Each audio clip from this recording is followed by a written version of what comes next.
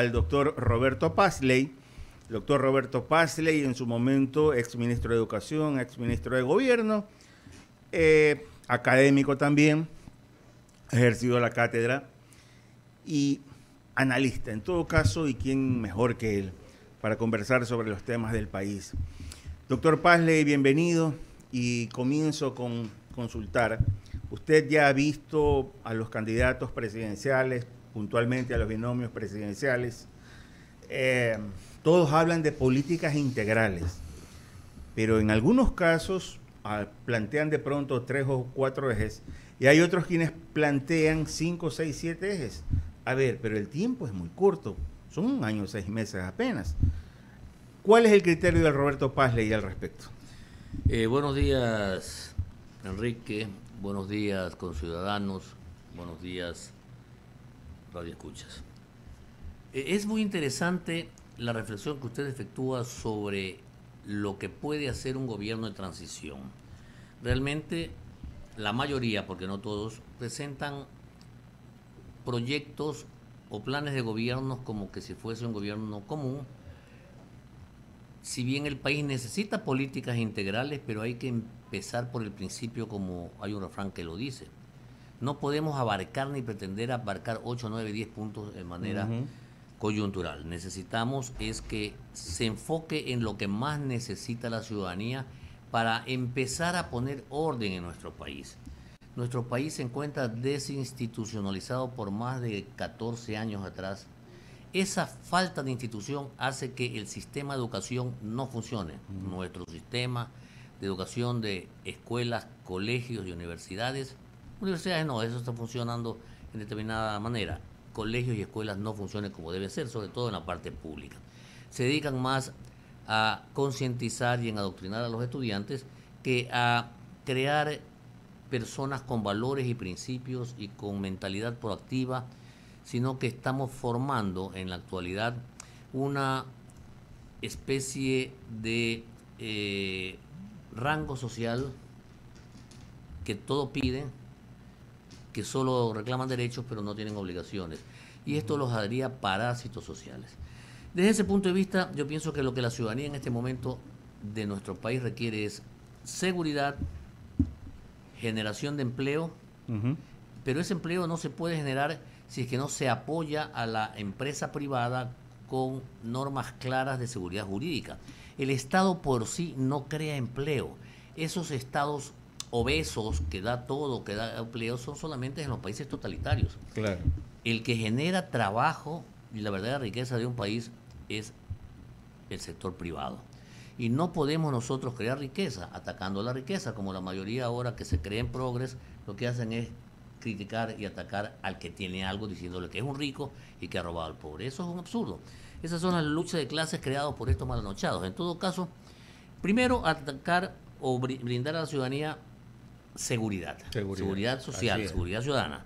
Segundo, seguridad jurídica para que esa seguridad jurídica haga que se reactive la sociedad civil la empresa privada generando empleo, atrayendo capitales externos e internos para que inviertan. El Estado no invierte porque el Estado no genera riqueza. El Estado lo que hace es manejar impuestos que más de la mayoría de ciudadanos no pagan impuestos porque esos son los que no pagan impuestos y exigen más. Mi concepto que la política de pago de impuestos tiene que ser para todos. Que el que gana más pague más impuestos, totalmente de acuerdo. Pero si el que gana salario básico paga el 10%, son 45 dólares. El que gana 4.500 son 450 y así se va multiplicando, son mucho más. En todo caso, está bien que a los que menos ganan en una franja se le condone los impuestos por su condición propia. Pero el resto todos tenemos que pagar. Pero esos que no pagan impuestos son los que más están haciendo problemas como los famosos Yas Unidos. Y en este tema, doctor de Yas Unidos, y bien que lo trae a colación, preocupa porque el 20 de agosto también tendremos que pronunciarnos sobre esta, este tema. Si los ecuatorianos queremos no seguir explotando el Yasuní y que se quede ahí enterrado.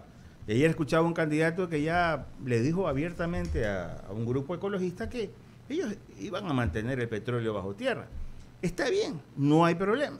El tema es, si ese es el principal rubro de ingresos para el Ecuador, ¿cómo manejamos ese tema cuando usted está hablando, doctor, que hay un millonario déficit fiscal y nuestro principal proveedor, que es el petróleo, a través de sus ganancias, nos van a cerrar, en otras palabras, doctor, la llave.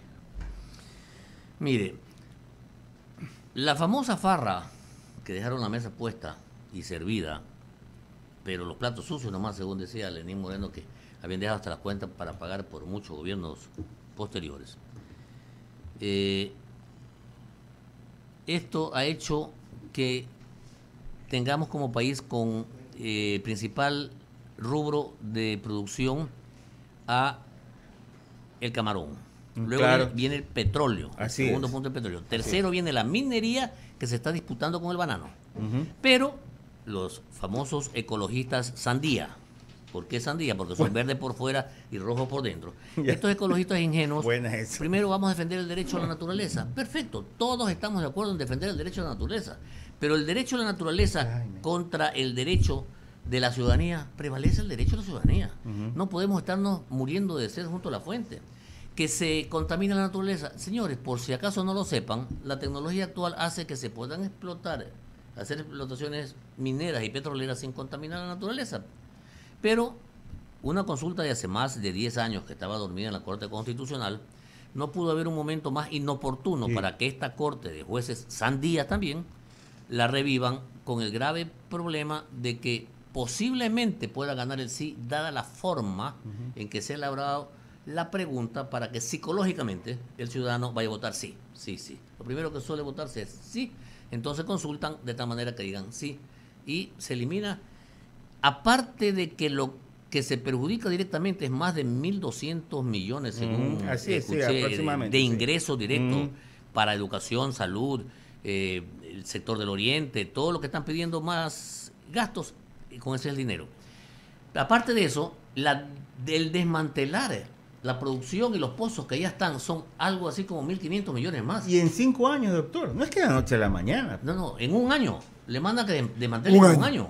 No, digo sí, pero desmantelar todo, doctor, tomará unos cinco años. Deberá tomar, pero la Corte manda en un año que desmantele. Wow. Aparte, ¿cuántas personas van a quedar sin empleo?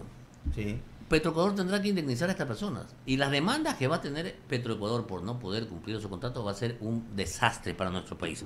Entonces, ¿en qué estamos? ¿Defendemos nuestro país o defendemos criterios ideológicos de unos pocos que se llaman ya Unidos, que si bien la bandera de lucha puede ser muy loable defender la naturaleza, pero está en perjuicio del derecho a la vida humana y el derecho del buen vivir de los ecuatorianos. Correcto, estamos dialogando con el doctor Roberto Pazley. Se une a esta, a esta mesa de diálogo Jaime Velázquez. Jaime, eh, buenos días. Bien. ¿Qué tal, mi querido Enrique? Buenos días con todos los radioescuchas y a Roberto un abrazo aquí a la distancia desde la cabina de redacción. ¿Cómo le va? ¿Qué tal, Jaime? Pasado? Buenos días. Oiga, Roberto, eh, escuchándolos con mucha atención con el tema de Estados Unidos y, efectivamente la ideología que se maneja en un momento dado, pero yo voy a, más allá, porque usted es un experto en, educación y, le pregunto, ¿este tema de educación tiene que ver justamente con, ideología? Porque aparentemente por ese lado es donde se ha desarrollado esta tendencia de proteger, entre comillas, la eh, naturaleza y, debajo hay, pues, como usted lo dice, son, son eh, personas que dicen sandías, ¿no? son rojos por dentro y verdes por fuera. Pero el problema es, esto tiene que ver con la educación que se está dando en el Ecuador, porque realmente es una posición bastante sectaria desde el punto de vista o análisis desde de que efectivamente debe, debe existir eh, todo este daño que se va a venir si es que gana el sí. Sí, efectivamente. Eh, la educación, o desde la educación parte o el bienestar de un país o la desgracia de un país. Lamentablemente nuestros sistemas educativos en Latinoamérica se encuentran secuestrados por una ideología. ¿Por qué sostengo esto? Nosotros sosteníamos de que en nuestro país había un partido político que secuestró por mucho tiempo la educación, más de 20 años. Felizmente una de las pocas cosas que creo que un gobierno hizo bien fue despolitizar de ese partido político al sector educativo. Pero ¿desde dónde nace este perjuicio? Nosotros vemos que allá en el 1990, cuando Fidel Castro y, Lula eh, se ponen de acuerdo y crean el Foro Sao Paulo para promover la guerra o la lucha de ideas, toda vez que la revolución armada de las guerrillas no daban resultado para tomarse los gobiernos de Latinoamérica, entonces viene la lucha de ideas que consiste en adoctrinar y concientizar a la juventud para cuando ésta llegue a grande ya tenga otros criterios que sean acorde con sus pensamientos de izquierda. Allí se forma el Foro Sao Paulo, y han venido más de 30 años trabajando en el asunto, ahora está reforzado por el Grupo de Puebla, que tiende justamente a llevar adelante los planes y programas del Foro Sao Paulo. Dentro de esos planes y programas del Foro Sao Paulo está primero desprestigiar la iglesia, desprestigiar y desinstitucionalizar las Fuerzas Armadas, Policía, Ejército, desprestigiar eh, cortes, tomarse las cortes, tomarse eh, todos los órganos del Estado, las asambleas, eh, los medios de comunicación, desprestigiarlos y eliminarlos, las universidades bajarlos su tono y concientizarlos, escuelas y colegios crear un caldo de cultivo para los reclamos. Y se ha venido trabajando de esa manera. Nosotros vemos cómo en muchas instituciones públicas de Latinoamérica está tomada por estas personas que ya tienen otra mentalidad. Las grandes revueltas que han habido estos últimos años en Latinoamérica, Ecuador, Chile, Brasil, Colombia, eh, está dado por gente de 30 años para abajo, que sin importarles nada les salen a destruir. Lo que quieren es anarquía, quieren cambiar un sistema nada más por cambiarlo y volviendo a, un, a unos criterios que es el Estado el que tiene que dar todo. Y eso, vuelvo y repito, es imposible que el Estado sea el que eh, solvente todo. Debemos de, eh, institucionalizar nuevamente los programas de estudios de todos nuestros países. Y hablando de nuestro Ecuador, en nuestro Ecuador está introduciéndole la ideología sectaria de género. Eso es algo eh, que debemos de aborrecer. Es aberrante para la civilización y para la humanidad la ideología de género. Roberto, pero más allá de que esté consciente de algunas cosas que usted acaba de señalar. También vale la pena eh, analizar y reflexionar. Es decir, hemos estado 60 años bajo un mismo sistema, con las mismas promesas y aparentemente con lo mismo de siempre. Es decir, te voy a dar todo, te voy a ayudar ecuatoriano, pero resulta que el, resultado es totalmente adverso a lo que prometieron aquellos políticos que llegaron al poder. La pregunta del millón es, ¿No es esto una revelación de, la, población que está en contra de un sistema que no ha funcionado durante 60 años, ni en Ecuador ni en Latinoamérica? ¿No es, no es, una protesta justificada en un momento dado de, aquellos jóvenes que dicen no tengo oportunidades, no tengo cómo seguir adelante, porque se sigue manejando un sistema en donde las oportunidades son escasas y donde se favorecen a, ciertas, a ciertos grupos de poder, más no a una justicia inequitativa, a una justicia equilibrada, o, a, un, a, un, reparto de riqueza pues equilibrado que permita pues, el desarrollo del país. Eso es justamente lo que se fomenta y lo que se doctrina a la juventud. Yo te voy a dar lo correcto. Aquí el que tiene es porque le ha robado al que no tiene. El rico tiene riqueza porque le ha robado al pobre. Entonces, esta lucha de clases, que es la que se ha concientizado a la juventud, es la que cree lo que usted dice. Si queremos cambiar la sociedad, ¿usted piensa que queremos cambiar por irnos a, estar como Venezuela o Cuba? ¿Qué prefiere usted vivir, Venezuela, Cuba o Nicaragua? Escoja. Son esos los modelos que queremos estereotipar en nuestra Latinoamérica. Y hacia allá vamos.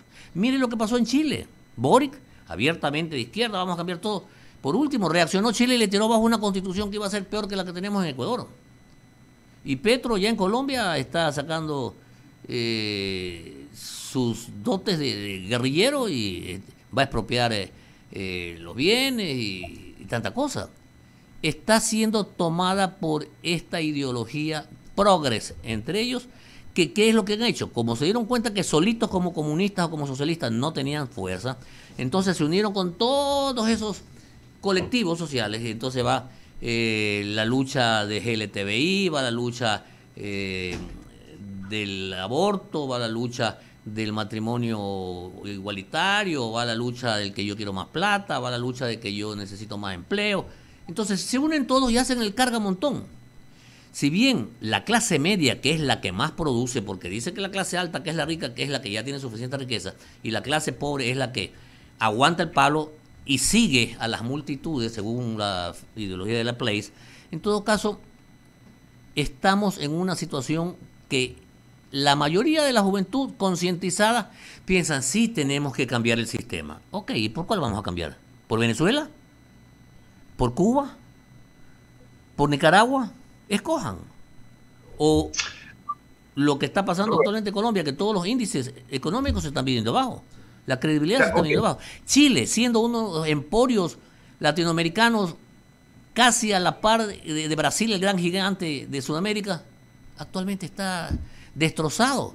Argentina, la gran riqueza, está destrozada. ¿Por qué? Por las ideologías. Nosotros tenemos que trabajar para la ciudad, para la ciudadanía, para el ser humano, pero sacándonos la ideología y sacándonos esa idea, esa idea de que venimos aquí a reformar todo, vamos a una constituyente para tomarnos el país, vamos a refundar el país y nos vamos a quedar 100 años, 50 años en el gobierno. Roberto, de los ocho binomios eh, que en estos momentos se disputan una, una presidencia de un año, ocho meses, o un año y medio, que quedaría de, este nuevo gobierno. Eh, ¿Cuál de estos ofrece a los ecuatorianos justamente, o para, su su comentario respecto a los ocho binomios, ¿cuál de ellos da un nuevo sistema o da una nueva esperanza o da una nueva alternativa para que el ecuatoriano vea que justamente el Ecuador está, está en un buen camino de desarrollo o a futuro? Porque aparentemente estamos cansados de lo mismo, los ecuatorianos, nos han prometido mucho y nos han quedado mal, y pues obviamente hay una serie de necesidades que no se han cubierto y pues que en un momento dado hay esperanzas puestas en ciertos gobiernos que lo único que hacen es mentirle a, la población y decir que van a hacer ciertas cosas, pero cuando llegan al poder no lo concretan, no lo pueden hacer. Son mucha demagogia, poco actual. Cuéntenos un poquito cómo usted ve estos ocho binomios sobre el tema del desarrollo del Ecuador a futuro. Eh, vea Jaime, hace un momento contestándole a Enrique una pregunta sobre los puntos a tratarse en el Ecuador, habíamos visto que el presidente de transición que llegue tiene que enfocarse en seguridad ciudadana, seguridad jurídica para generar riqueza, empleo y producción y dedicarse a la salud y educación. Son los cinco puntos. Con eso no tiene tiempo para nada más. Entonces, de los candidatos que existen, todos hacen referencia a algo de lo que he manifestado. Unos son expertos en salud, otros son expertos en educación, otros son expertos en seguridad, otros son expertos en convocar asambleas para retomar o refundarse el Estado. En fin, y todo tiene derecho. Porque de acuerdo a nuestra constitución basta que sea ecuatoriano y sea mayor de edad para tener el derecho a ser presidente de la República y lanzarse candidato, cosa que es una o un absurdo. Es un absurdo porque siempre hemos hablado, se necesita edad madura para discernir conocimientos para poder analizar las circunstancias, experiencia para saber cómo tratan las cosas, pero ya se viene bajo eso, todo tiene derecho y la juventud está en este momento en boga o de moda. La mayoría son jóvenes, eh, muchos sin experiencia en el área pública, otros con la experiencia de haber sido presidente de una comisión producto de un amarre, otros con experiencia de otra comisión donde se ha hecho bastante ruido y se ha hecho bastante investigación, pero que su vida anterior pues también estuvo dedicado a los sindicatos y cosas por el estilo. Otros, en cambio, eh, que prometen controlar a mano dura la delincuencia, dado sus conocimientos en las áreas estratégicas. En fin, todos tienen derecho, pero el candidato que mejor vendría el país es el que se limite a trabajar en los puntos antes establecidos. Y no nos vayamos más allá, veamos quién rodea al candidato, quién auspicia al candidato y cuál es su equipo de trabajo del candidato. Porque si viene un candidato que está candidato a presidente y de vicepresidente pone a alguien que no tiene los méritos o tiene méritos oscuros para ocupar el cargo, pues habría que pensar mucho para votar por él. Pero el candidato a presidente que debemos escoger los ecuatorianos es aquel que nos dé seguridad, nos dé tranquilidad, que veamos que no venga con reago de paja ni que digan yo voy a ser presidente y voy a, gobernar con mano dura y me voy a quedar 40 años. El candidato aquel que sea asequible, aquel candidato que tenga experiencia dentro del área administrativa, ya sea pública o privada pero no de aquellos que dicen yo tengo la experiencia y llegan allá y no hacen nada, sino que tengan decisión, trabajo y coraje para trabajar por el Ecuador. Clarísimo, le doy gracias Roberto por las respuestas. Adelante, Enrique. Eh, Roberto Pazle, buenos días Jaime. También a ti, a toda la audiencia, buenos días. Eh, dos preguntas breves. Hemos, hemos hecho un análisis grande. Eh, el fenómeno del niño y lo que le toca al Ecuador ¿Cree usted que los candidatos tienen claro esto, Roberto? Ni los candidatos, ni el actual gobierno, ni la ciudadanía. Cuando yo era bastante pequeño, recuerdo los inviernos fuertes que habían, pero las situaciones del país eran diferentes. Los ríos estaban con mayor cauce, mayor asolvado, ahora están llenos de sedimentación.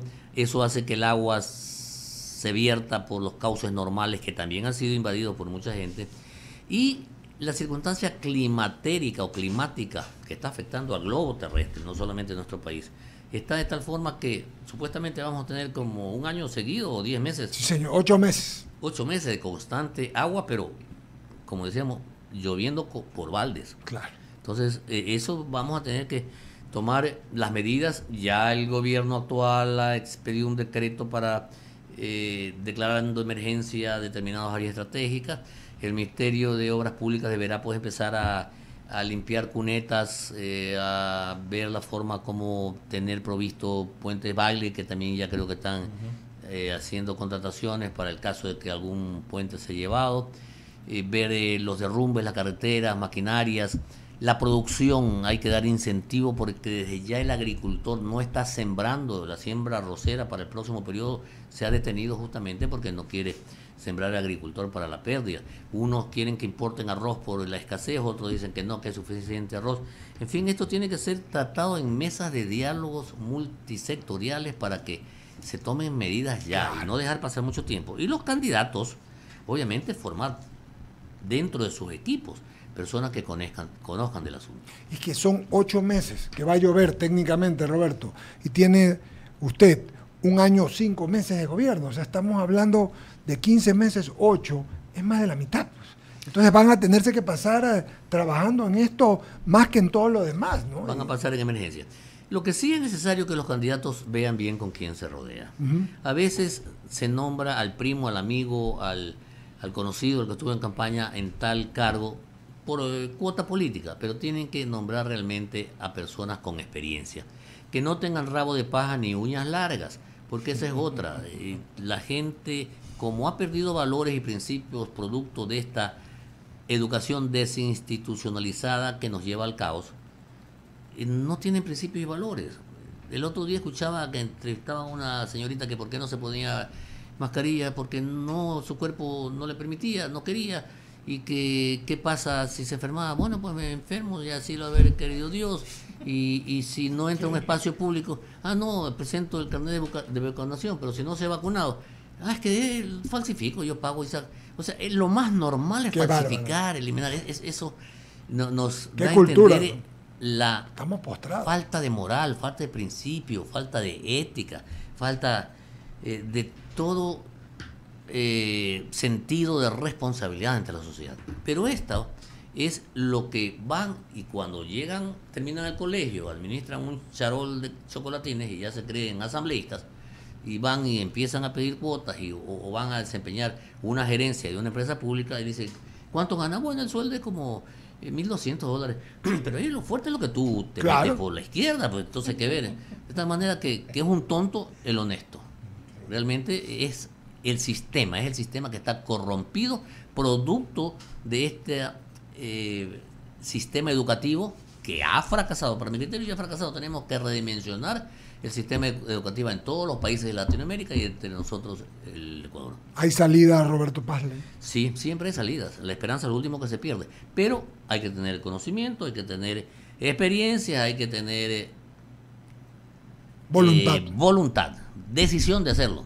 Usted puede tener eh, conocimiento, experiencia, pero si es paniaguado, si, si no toma decisiones, ¿de qué sirve? No sirve nada. En todo caso, esas son las características propias del nuevo presidente. Muchas gracias, Roberto Pale. Gracias por estar acá con nosotros. Enrique y, buen día. Editorialista de Diario Expreso y querido amigo. Educador también. Vamos a pagar el corte comercial. Cuando regresamos, regresamos con las menciones. Y a las nueve y media tendremos a Pablo Rosemena, ministro de Finanzas. Como ven, de mañana tuvimos a dos candidatos presidenciales, a Jan Topic y a Luisa González, luego al editorialista expreso Roberto Pazle y luego tendremos al ministro eh, de Finanzas, Pablo Arosemena. Vamos al corte y regresamos.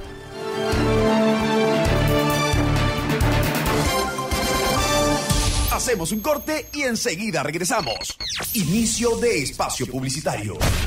Si la placa de tu vehículo termina en 5, realiza la revisión técnica vehicular durante todo el mes de junio. Paga la matrícula y separa un turno desde las 7 de la mañana para el centro de matriculación norte vía Adaule o sur en la avenida 25 de julio. Los sábados se atiende de 7 a 13 horas. No lo olvides, todas las placas terminadas en 5 realizan la revisión en junio. La ATM trabaja por tu movilidad. Autorización número 2801. CNE. Elecciones presidenciales y legislativas anticipadas 2020.